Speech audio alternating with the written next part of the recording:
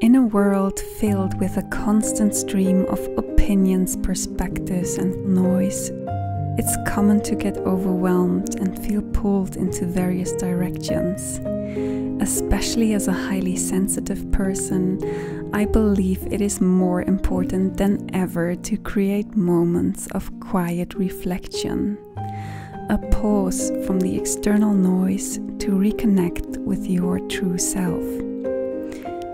Let's think of solitude not as isolation, but as a deliberate retreat for self discovery.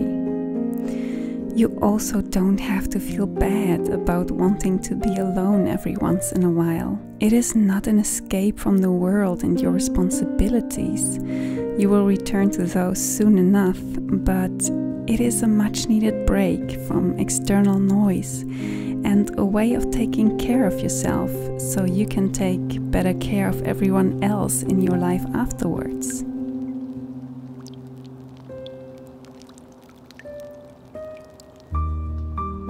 If you fill your time of solitude with meaningful activities, such as creating art of any kind, dancing or singing to your favorite music, yoga, meditation, knitting, gardening, baking, anything really that you love doing and that gets you into a state of flow, then solitude becomes this sacred space guiding you to your deepest truth and replenishing your soul with fresh and loving energy.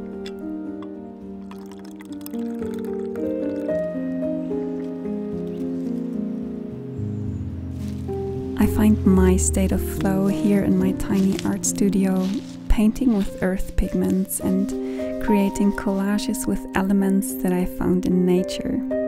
It is my time to listen to the songs that I love, feeling guided by inspiration from the season I'm in, and losing myself in the process of creation. I cherish that time of solitude in my studio so much it is right there that anxiety and worries fade away, and I feel free and peaceful within my mind. So, what is your favorite way to spend time alone? Let me know in the comments below. See you in the next video, my friend.